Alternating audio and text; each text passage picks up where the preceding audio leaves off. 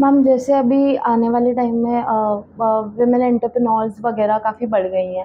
तो उस चीज़ के लिए आप आपकी क्या राय है? मतलब औरतों के लिए कि हाउ आप एक मतलब उनके लिए एक मोटिवेशनल वर्ड्स अगर कुछ कहना आ, महिलाएँ पहले भी अगर वैदिक काल से बात करती हूँ तो महिलाएँ उस वक्त भी बहुत सक्षम थी बहुत आगे थी। बीच में कुछ कालखंड ऐसा आया जब देश गुलाम हुआ मुगल्स आए तो उस वक्त महिलाओं पर हमने महिला को हमारी एक इज़्ज़त समझे या महिलाओं को, के लिए इतना सम्मान था कि हमें उस सम्मान को सुरक्षित रखना, हमने सब कुछ छोड़ा, हमारे घर छोड़ दिए, सब कुछ छोड़ा, पर हमारा माँ का सम्मान है।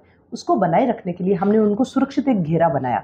वो घेरा बनाते बनाते वो घेरा कुप्रथाओं में बदल गया। कुछ कालखंड बाद में घूंघट प्रथा शुरू हो गई और जो चीज़ें हैं वो शुरू हो गई। तो उसका कारण महिलाएँ थोड़ी सी पीछे हो गई। अब महिलाएँ फिर से आगे आ गई हैं और महिलाएँ आगे आकर अपना काम बहुत अच्छे से, ज़िम्मेदारी से करती हैं।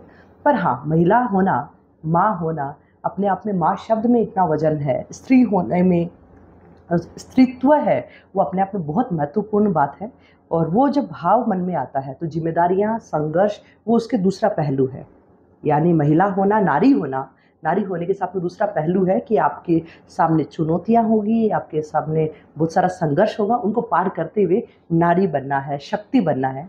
तो मैं सबको यही कहती हूँ कि कुछ नहीं, दो पंक्तियाँ मन में गुनगुनाइए और आगे बढ़ते जाइए, जो मैं हर बार गुन, गुनगुनाती हूँ। संघर्ष भरा जीवन तेरा, संघर्षों से घबराना नहीं। जब रात हो काली तो समझो होने वाली है शुभ दिवाली।